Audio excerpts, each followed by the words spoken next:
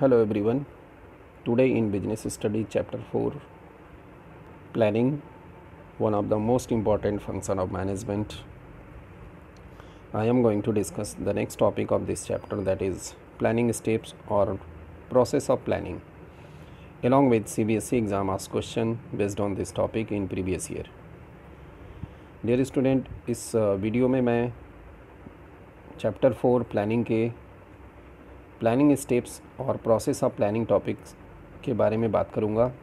साथ में CBSE exam में इस टॉपिक पर पूछे गए लास्ट ईयर में जो क्वेश्चन है, उसे भी डिस्कस करूँगा।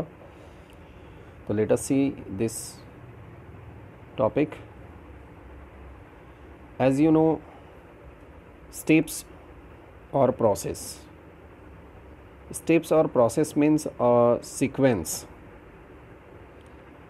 A systematic sequence must be followed by planning manager while uh, setting up the plan for an organization. This step must be followed one by one by the planning manager. There is not skipping is allowed. It means the step must be strictly followed one by one. Only then a good plan can be formulated for an organization.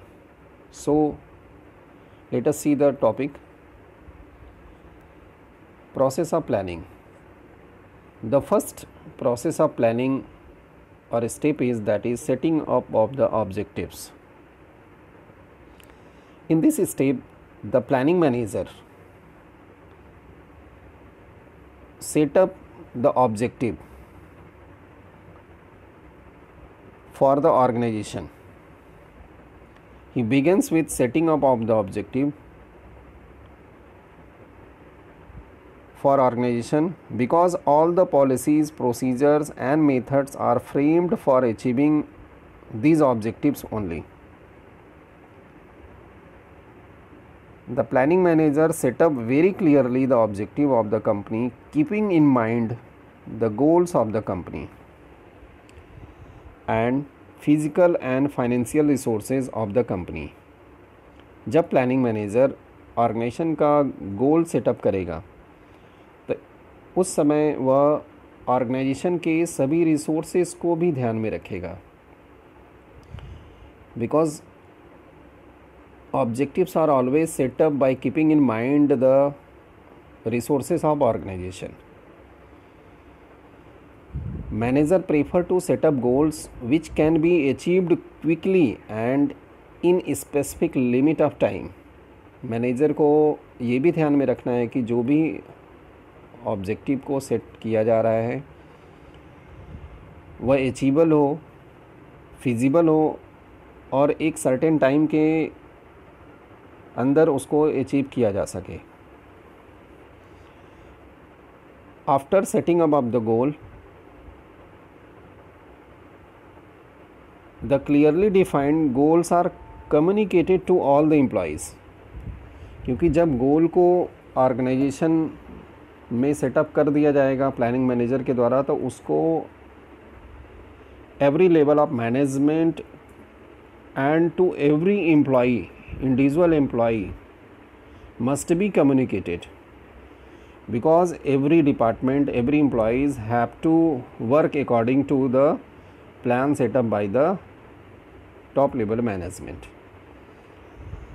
Then the first step of planning is setting up of the objective. Now the second step is developing premises. First try to understand here what is premises here. Premises means making assumptions regarding future of the organization. What will happen in the future? Regarding that future some assumptions are made by the planning manager. Because it helps in achieving the objective of organization premises are the base on which plans are made. Actually it is a kind of forecast. These premises are a kind of forecast which is made by planning manager keeping in view existing plans and any past information about the various policies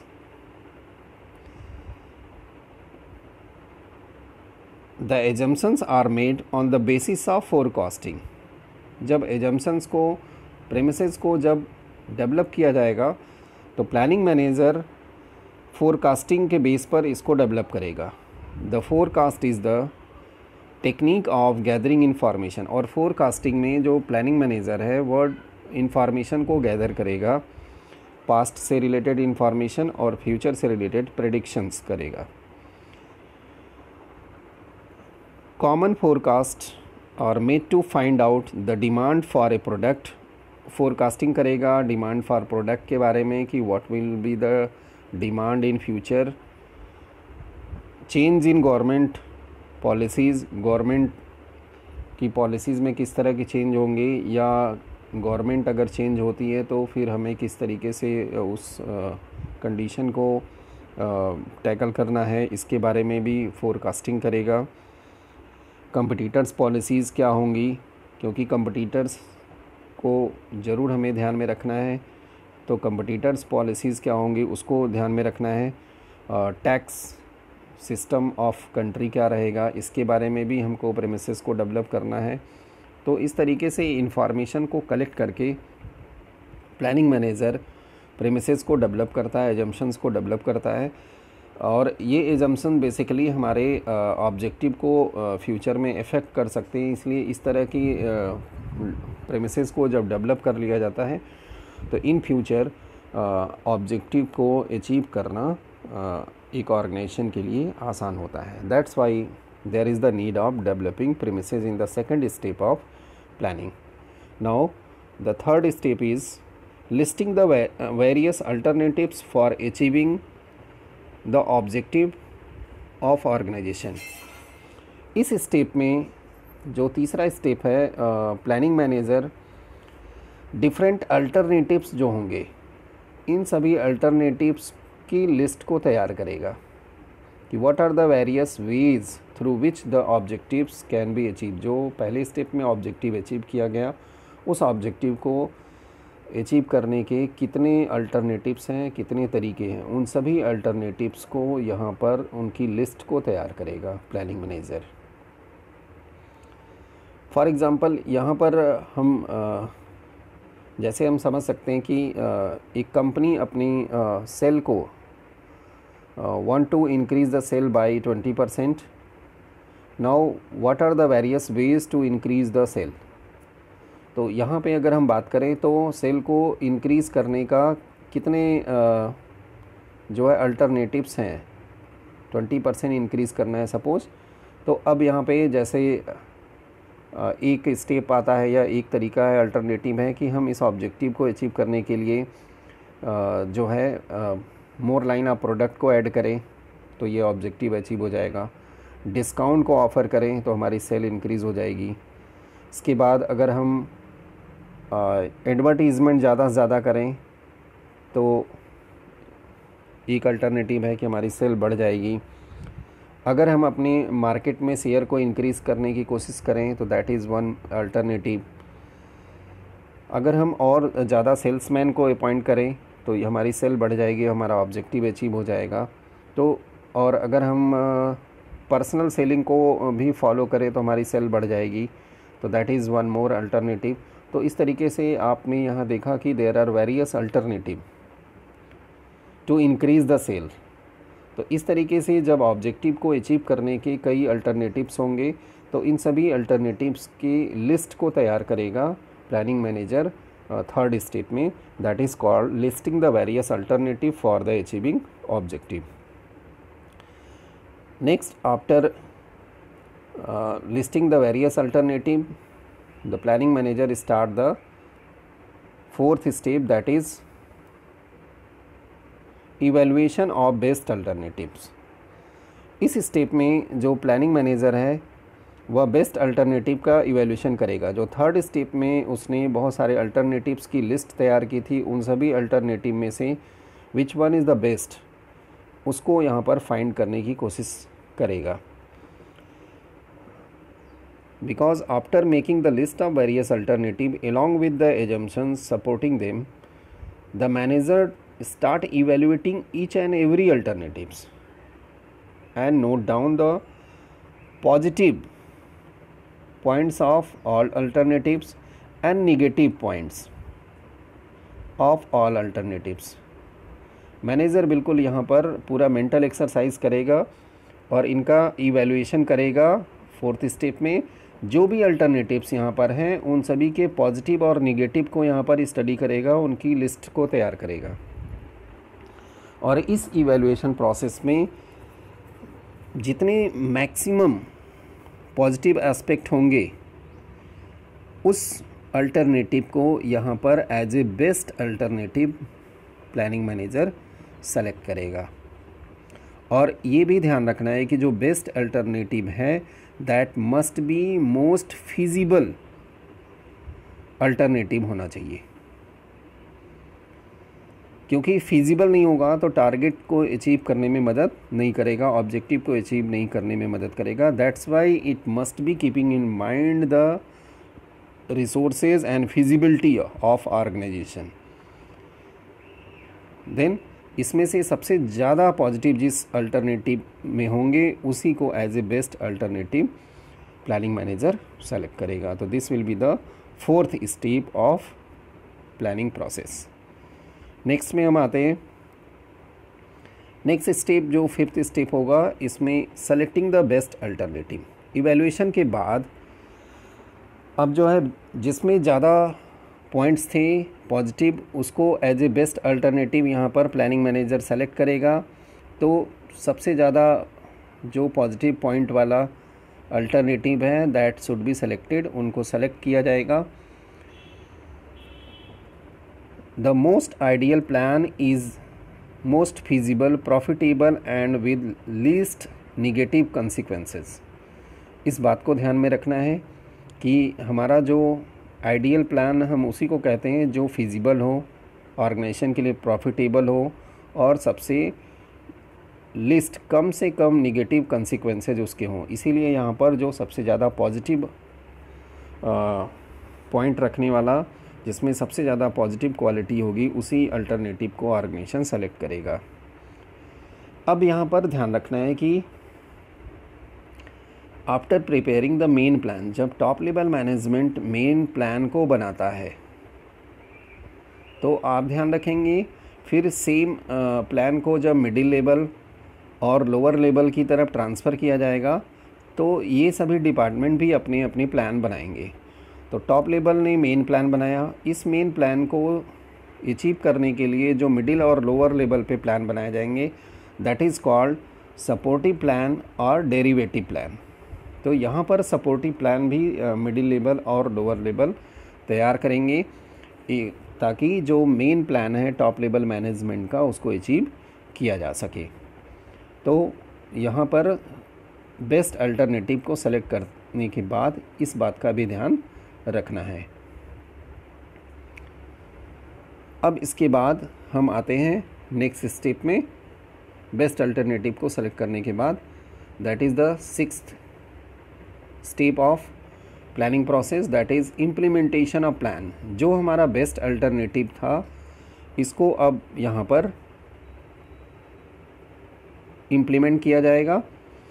the planning manager prepare और drop the main and supportive plan on paper but there is no use of these plans unless and until these are put in action जो planning manager है, यहाँ पे जो main plan है और supportive plan बनाने के बाद, उसका तब तक कोई यूज़ नहीं है जब तक कि इसको एक्शन में ना लाया जाए। तो इसलिए यहाँ पर इसको इम्प्लीमेंट करना बहुत ज़रूरी है और यहाँ प्लानिंग मैनेजर उसको इम्प्लीमेंट करेगा इस सिक्स स्टेप में।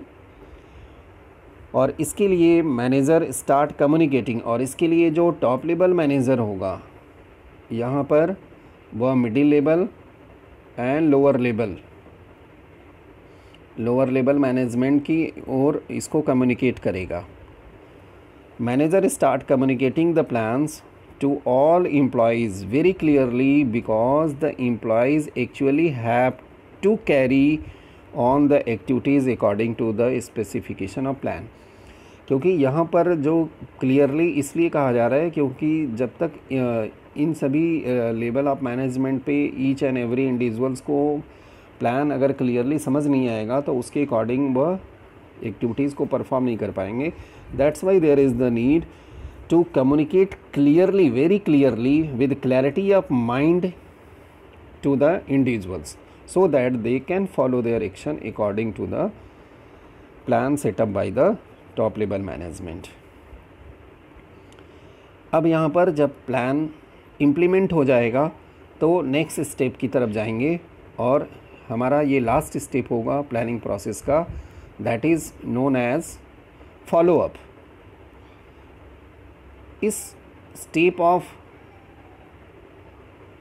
प्लान में planning manager follow up action में मॉनिटर करेगा। Actually it is the monitoring aspect जिसमें वह प्लान किस तरीके से किया जा रहा है, उसको यहाँ पर मॉनिटर करेगा। फॉलोअप मीन्स यहाँ पर मॉनिटरिंग करना है। मॉनिटरिंग करना है कि activities are going according to the plan set up by the organisation और नॉट और प्लानिंग को कंटिन्यूस प्रोसेस भी किया, कहा जाता है। तो दैट्स वाई ये तब तक चलता रहेगा जब तक कि टारगेट अचीव ना हो जाए। इसलिए यहाँ पर फॉलोअप किया जाएगा by the planning manager manager monitor the plan carefully while it is implemented because monitoring of plan is very important because it helps to verify whether the conditions and predictions assumed in the plan are holding true in present situation or not क्योंकि यहाँ follow up में जो assumptions यहाँ पर बनाए गए थे developing premises में, वे सभी और जो ऑब्जेक्टिव बनाया गया, इसके बाद जो बेस्ट अल्टरनेटिव यहाँ पर इवेलुएट करके सेलेक्ट किया गया, ये सभी कुछ हमारे जो ऑब्जेक्टिव है, उसी के अकॉर्डिंग हो रहे हैं कि नहीं हो रहे हैं इस बात को इंश्योर करने के लिए। Planning manager follow up action follow up step में इस बात को इंश्योर करेगा। During follow up many adjustment are made in the plan ज़रूरत पड़ने पर कुछ एडजस्टमेंट भी किए जाएँगे, क्योंकि यहाँ जो बिज़नेस इन्वायरमेंट है that is dynamic business environment dynamic है, और इस डायनेमिक होने की वजह से कुछ चेंजेस करने हो सकते हैं। तो फॉलोअप एक्शन में if there is any need of changes modification in the plan then planning manager made those modification in the activities of organisation so that the plan can be achieved तो this is the steps of planning और process of planning dear student इसमें आपने देखा there are seven steps of planning जिसमें setting up of the objective developing premises listing the various alternatives for achieving the objective evaluation of best alternative selecting the best alternative implementation of plan and follow up तो जब आप इसको exam में पूछा जाता है question तो single question में सारे स्टेप नहीं पूछे जाएँगे। कुछ स्टेप बीच बीच से पूछे जाते हैं। लेकिन जब आप अपन इसका नोट्स तैयार करेंगे या जब आप इसको समझेंगे तो आपको ध्यान रखना है कि सभी स्टेप वन बाय वन आने चाहिए सीक्वेंस में। और ना तो स्पीकिंग स्कीपिंग अलाउड है, ना तो इसमें आप इसको सीक्वेंस को चेंज करेंगे। क्योंकि अगर सीक्वेंस को चेंज करते हैं तो प्रोसेस फिर फॉलो नहीं हो पाएगा। इसलिए आपको यहाँ पे स्ट्रिक्टली सीक्वेंस को फॉलो करना है। नेक्स्ट अब आते हैं इसके ऊपर जो बोर्ड एग्ज़ाम में क्वेश्चन पूछे गए हैं। Latest year in 2016 board exam the question is define planning explain the first two steps in the process of planning ये क्वेश्चन डायरेक्ट पूछा गया था। आपको केस स्टडी क्वेश्चन भी इसके ऊपर पूछे जा सकते हैं। तो आप ध्यान दीजिए प्लानिंग की मीनिंग को बताना है आपको। डिफाइन करना है। तो ऑलरेडी हमने प्लानिंग के कॉन्सेप्ट वाले वीडियो में पूरा डिस्कस किया हुआ है। Planning means deciding in advance what is to be done how it is to be done by whom it is to be done where it is to be done तो इस तरीके से आपको डिफ़ाइन करना है। इसके बाद फ़र्स्ट टू स्टेप तो ऑलरेडी हमने डिस्कस किया setting up of the objective और इसके बाद फिर लिस्टिंग डेवलपिंग प्रीमिसेस जो पहले दो स्टेप हैं, उसको बताना है। साथ में इसके ऊपर केस स्टडी क्वेश्चन भी पूछा जा सकता है। तो पहले इस क्वेश्चन का आंसर आप देखिए। इसमें सबसे पहले प्लानिंग की डेफिनेशन को यहाँ पे डिफ़ाइन करना है आपको। और इसके बाद पहले दो स्टेप जिसमें सेटिंग ऑब्जेक्टिव और डेवलपिंग प्रीमिसेस है, इसको एक्सप्लेन करते हुए आपको अपने आंसर को कंप्लीट करना है। तो this type of question is asked by the CBSE in the previous year on this topic as well as case study question आपको देखना है यहाँ पे, क्योंकि केस स्टडी क्वेश्चन इस टॉपिक पे बहुत ज़्यादा बनते हैं। इस प्लानिंग चैप्टर में इसलिए केस स्टडी क्वेश्चन के लिए आपको केस में आ, सारे स्टेप्स इन्वॉल्व होंगे और आ, उनको आइडेंटिफाई करना और लाइन को कोट करने के लिए क्वेश्चन दिया जाता है। तो उसके अकॉर्डिंगली यहाँ पर आपको आंसर करना होगा। तो दिस टाइप ऑफ़ क्वेश्चन में be ask in the coming exam okay I hope आपको स्टेप ऑफ़ प्लानिंग प्रोसेस समझ आया होगा। Thank you. Thank you very much for watching this video. Keep watching. Like and share. Subscribe my channel